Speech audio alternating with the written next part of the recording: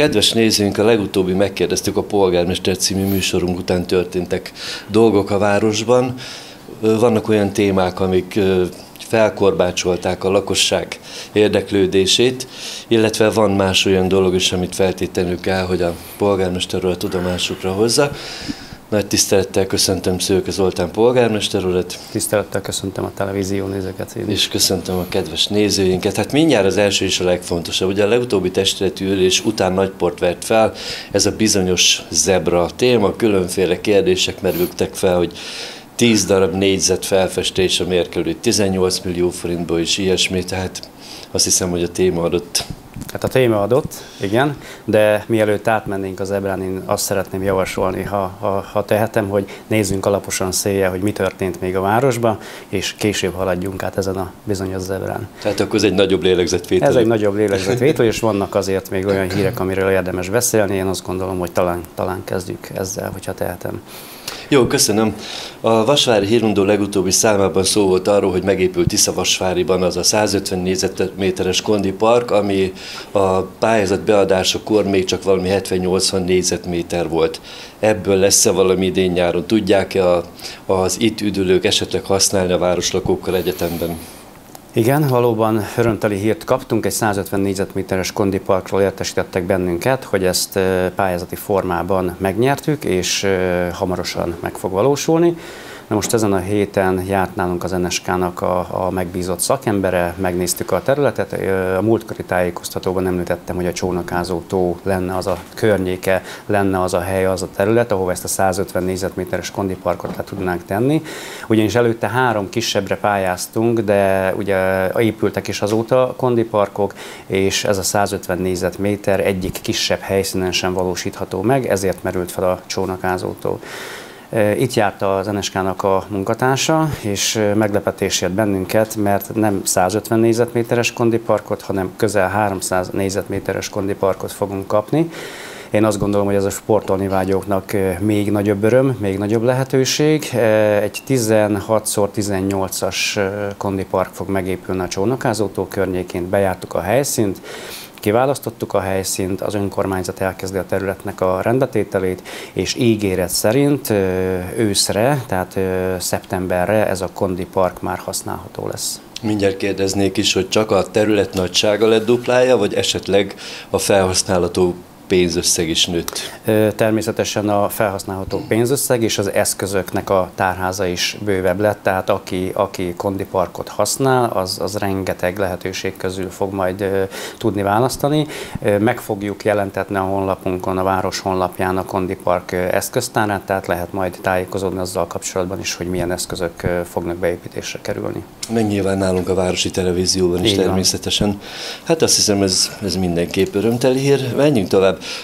februári testületi ülésen számolt be a Tiszavasvári Városi Tűzoltóság, és ugye mindenki lesújtól hallotta, hogy hat éve nem volt nálunk bérfejlesztés, és egyszerűen olyan kevés pénzből élnek, és védik tulajdonképpen a, a vagyonunkat, hogy, hogy ez már szinte lehetetlen.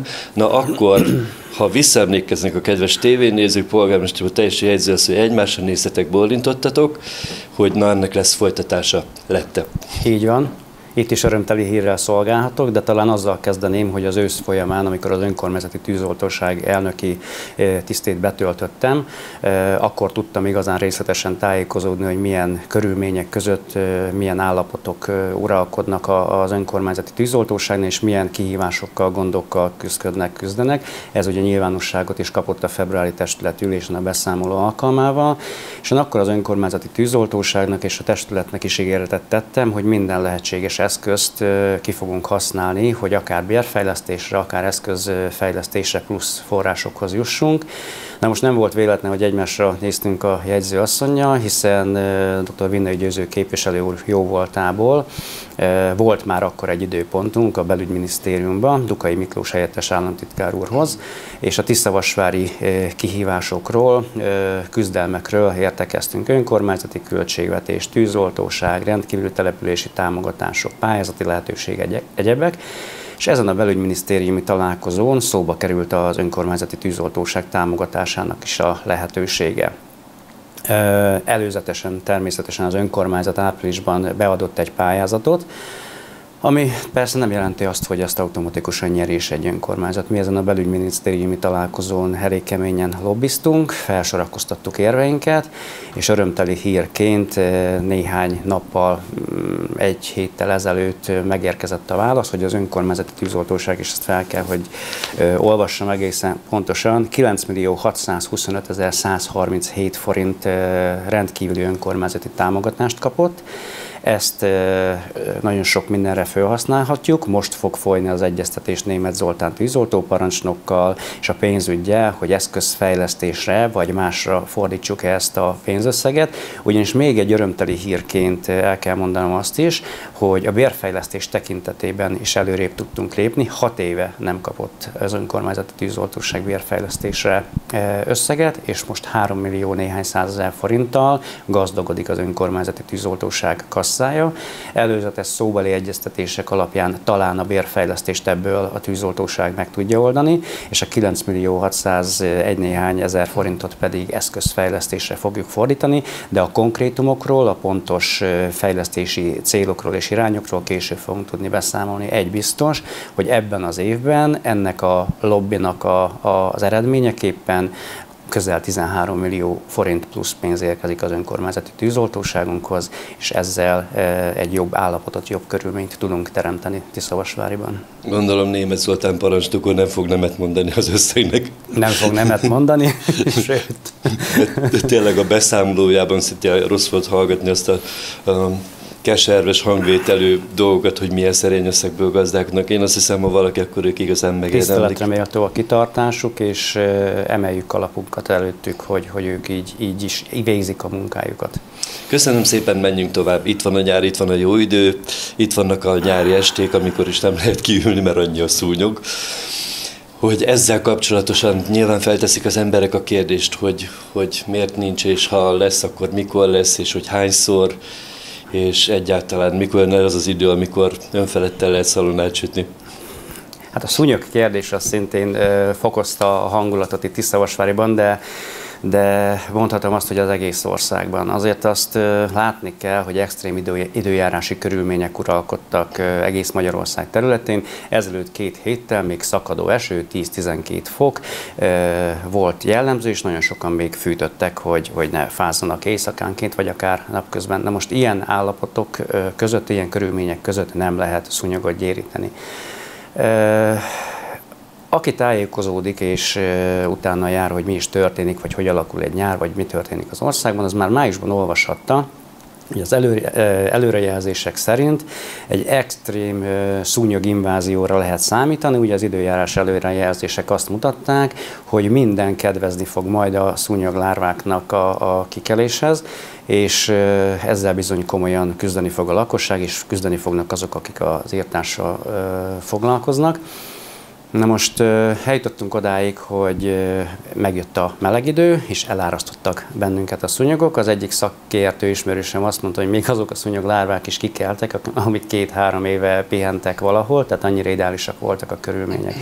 De nem szaporítva a szót, a lényegre térve, szúnyoggyérítés vagy szúnyogírtás 2016 óta állami irányítás alatt van. Ezzel az állam, a kormányzat próbál segíteni az önkormányzatokon, hogy ne az ő saját költségvetésükből, hanem az állam által irányítva, szervezve, állami pénzből valósuljon ez meg.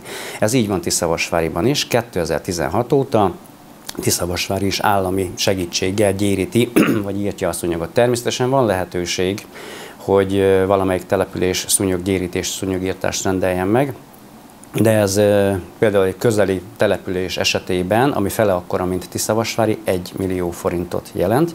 Na most Tiszavasvári kétszer akkora 700 hektárnyi írtandó területtel bír, ez közel 2 millió forint kiadást jelentene. Na most a, a tapasztalatok alapján fölvettük a kapcsolatot a katasztrófavédelemmel, érdeklődtünk, ugye figyeltük a honlapjukat, ott nem láttuk, hogy mikor lesz Tiszavasváriban írtás, és egy e-mailben és telefonos kapcsolat ugyanis érdeklődtünk, és éreztük, hogy nagy a probléma, kellemetlen kint lenni a szabadban, van egy üdülőterületünk, egy strandunk, és nem jelzik jól magukat az emberek a, a szúnyog csípések közepette.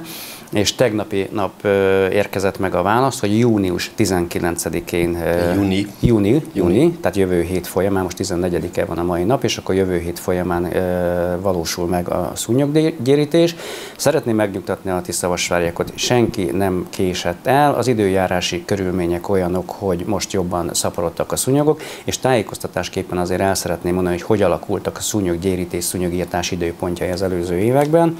Ez például úgy volt, hogy 2016 volt a legelső év, amikor az állam gyérített nálunk, akkor július, tehát 7. hó 22-én valósult meg ez az írtás. 2017-ben szintén 7. hó 24 volt az a majd csak dátum, nyár vége. Majd csak nyár vége, vagy igen, nyár közepe. 2018-ban már hamarabb időpont volt, mert ugye a körülmények úgy indokolták, ez június 7-8, és az idei évben pedig június 19, tehát talán egy héttel vagyunk elcsúszva a tavalyihoz képest.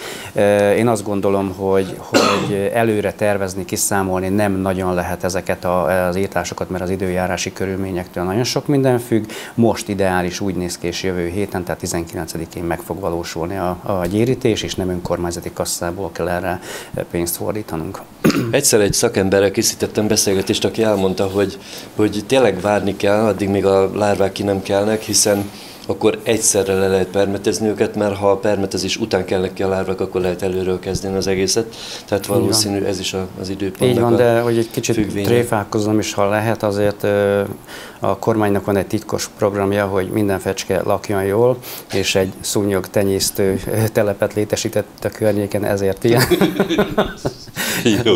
ez, ez volt a vicc része. Gondolom. Uh, zebra. Zebra. Az elején egy kicsit úgy túl alattunk rajta, Igen. térjünk vissza. Tehát az alaptézis. A testetülésen elhangzott, hogy egy 18 millió forintos hitelt kell felvenni ahhoz, hogy két zebra létesüljön. Nyilván a felháborodás tárgya az volt a lakosság körében, hogy a felfestett 10 tehát kétszer öt négyzet alakú fehér sáv mi kerül ennyibe? Mi kerül ennyibe?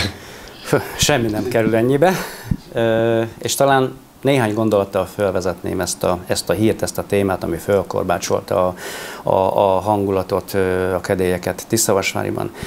Számtalanszor elmondtam, és megerősítettük általad is Városi Tévén, Vasvári Hírmondón keresztül, honlapunkon keresztül, hogy hiteles tájékoztatást nagyon szívesen bármikor fogunk és tudunk adni. Ez a hír, ez megjelent egy internetes oldalon, olyan felhanggal, hogy 18 millió hitelből épít Zebrátiszavasvári. Na most ez a hír, ez álhír, féligasság nem a, nem a valóságot tartalmazza. Én továbbra is azt kérem, hogy ha hiteles tájékoztatást szeretnének, akkor azt tőlünk kérjék, tőlünk meg is fogják kapni. Elérkeztünk ide, és most el fogom mondani, hogy mi is az igazság ezzel a hírrel kapcsolatban. Valóban 18 millió forintnyi hitelt állított be a Tiszavasvári város képviselőtestülete, önkormányzata a 2019 tehát az idei évi költségvetésben. Most a költségvetés tervezése az úgy van, hogy a feladatainkat, az elvégzendő munkát, ezt elő szoktuk venni, megnézzük, hogy mit tudunk beépíteni, mi az, ami halasztható, mi az, ami égetően sürgős, és meg kell valósítani. Most az Ebra története ez 8-9, akár 10 évvel ezelőttre is visszanyúlik, nagyon sok képviselőtestület, és több polgármester is tervezgette, hogy az ifjúsági út, Kinizsi út, keresztez, Kossuth út kereszteződésében igenis szükség van zebrára. Nagy a forgalom, nagyon sok gyermek, felnőtt nagyon nehezen tud átjutni, sőt, autóval is hiába van táblás forgalomszabályozás, nehéz, nehéz a keresztülhaladás. Na most 2014-ben az előző városvezetés eljutott odáig, hogy erre már választási kampányt épített olyan szöveggel, hogy ebben az évben megvalósul a várva várt zebra. Na most 2019-et írunk, de az ugye az előző éve 2018-at írunk. Ez olyan szinten nem volt tervezve, hogy a költségvetésben sem szerepelt igazság szerint semmilyen szinten, sőt a tervek a fiók mélyére kerültek mi leültünk 2019 évet tervezni, előkerült a zebra kérdése, előkerültek a régi tervek. 2017. decemberében egy tiszavasvári céget bízott meg az akkori városvezetés, hogy készítsen egy költségvetést, egy tervezetet, hogy mibe kerülne Tiszavasvárinak ez a két darab zebra. És akkor beszéljünk itt a, a számokra. Én elővettem a dokumentumokat. Tehát 2010 pillanat, 2017. 12. hó 15-én érkezett egy árajánlat egy Tiszavasvári cégtől, ami akkor azt mondta, hogy 7 millió 500 ezer forint lenne a kettő zebra kiépítése, patkával, földmunkákkal, egyebekkel. Csatoltak mellé egy nyíregyházi cégtől közvilágítás korszerűsítésre, mert ugye egy jobb megvilágítást igényel ez a zebra, egy 400 ezer forint plusz áfa tervezési díjat, és ez csak tervezési díj, ami azt jelenti, hogy ez már 8 millió forintot ö, ö, takar tervszinten, és utána járva a, a világítás, a gyalogos átkelőhely megvilágításának kiépítésére közel másfél-két millió forintba kerülne ott a, a különböző lámpáknak a felállítása, elhelyezése, új eszközök beszerzése, ez, egyebek. Tehát a 8 millió mindjárt 10 millió, de ez 2017-es ár. Ebbe a tervben nincs benne jelzőlámpa.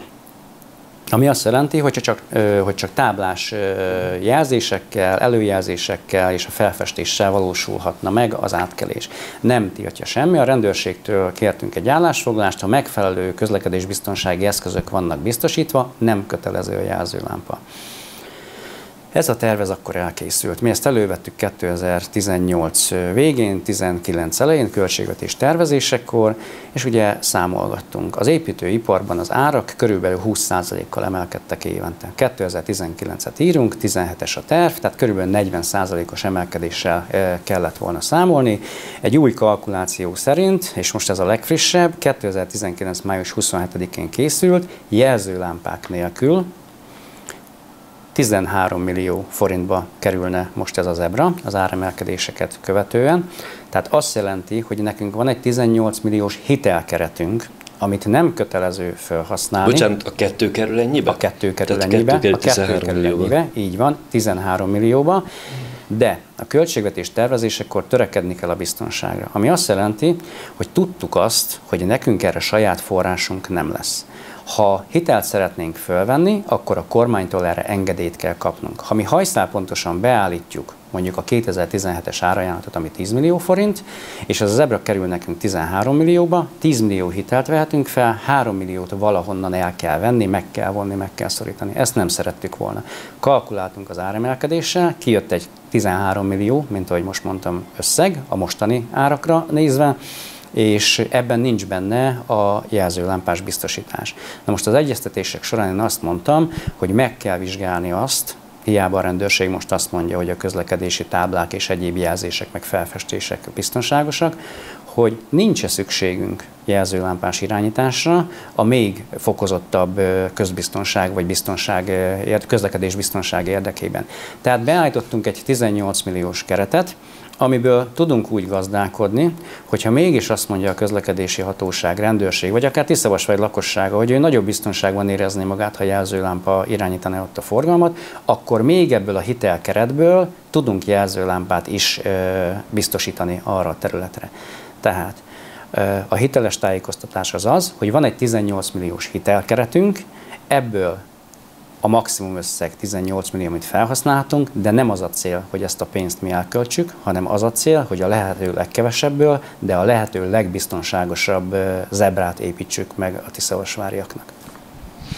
Hát azt hiszem így most már érthető.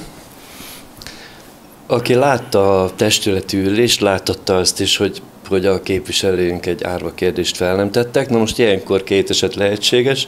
Vagy a bizottsági ülés annyira jó volt, hogy mindent sikerült megtárgyalni és, és elfogadni, vagy pedig az, hogy, hogy annyira jó volt az előterjesztés, hogy nem volt mit hozzáfűzni. Igen, a lakosság részéről több fórumon, beszélgetések során is fölmerült, hogy hát a képviselők azok nem sokalták a 18 milliót, nekik ez nem volt kérdés, hát ez, ez nekik nem probléma, hogy ilyen magas összegbe kerül az ebra, nem kerül ennyibe. Tehát ők tökéletesen tisztában voltak azzal, legalábbis bízom benne, hogy a többség igen, bár egy kivételt tudok mondani, hogy a többség az tisztában volt azzal, hogy miről is dönt, miről is szavaz. A bizottsági üléseken lehetőségük van előzetesen kérdéseket föltenni, megismerni az anyagot, plusz információkat kérni. Mivel ez a zebra terv ez évekre visszamenőleg érvényes és visszanyúlik. Azok a képviselők, akik itt vannak 2014 óta, hogy önkormányzati képviselők a tervek 2017-ben készültek. Tehát a képviselők többsége tisztában volt azzal, hogy egy kevesebb összegbe kerülő, de ilyen hitelkerettel beállított zebra megvalósításáról beszélünk. Tehát nagy valószínűséggel ezért nem voltak kérdések. Ezen túlmondom pedig lehetőségük lett volna, hogyha hogyha szerették volna kikérni ezeket az anyagokat, mint ahogy én is tettem, vagy más képviselők is tették hosszú évekkel ezelőtt, hogyha valamivel nem voltak tisztában, csak úgy döntöttek, hogyha meggyőződtek arról, hogy az az előterjesztés az támogatható.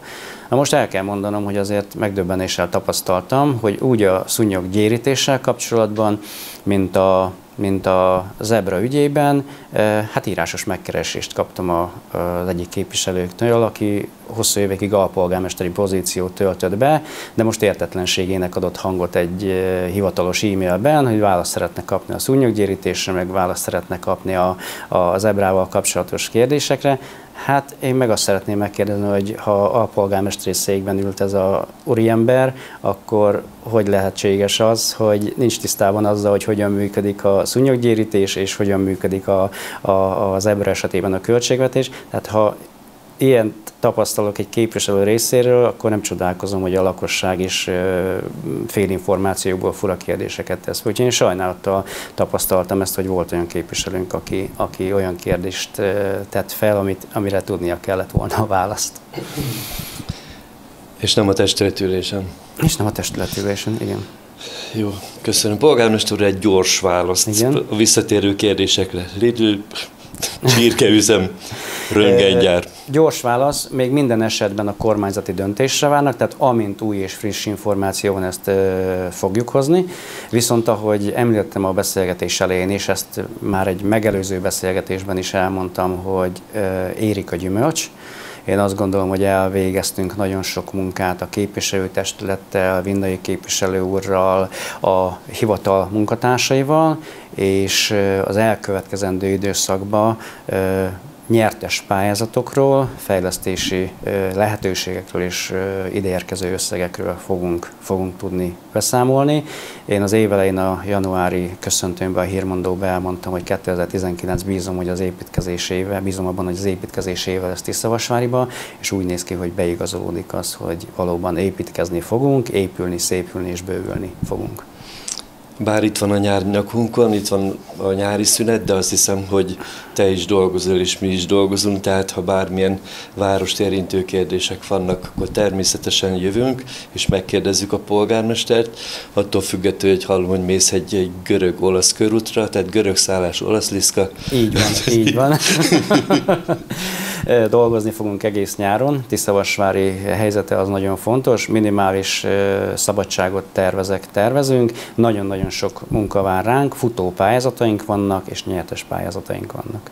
Polgármester úr, köszönöm szépen a válaszokat is. Ezúton szeretném megkérni a kedves tévénézőket, hogy bármilyen jellegű, láthatják nálunk nincsenek tabu kérdések, bármilyen jellegű kérdéseik vannak, nyugodtan tegyék fel személyesen, írásban, e-mailben juttassák el hozzánk hiszen azt hiszem, hogy ezek azok a válaszok, ami érdemlegesek, és nem azok a félinformációk vagy plegykák, ami a különféle internetes felületeken terjednek. Tehát továbbra is várjuk kérdéseiket. Köszönöm Szőke Zoltán polgármester úrnak, hogy rendelkezésünkre állt, és köszönöm önöknek, hogy velünk tartottak kellemes nyarat viszontlátásra. Köszönöm szépen a lehetőséget én is.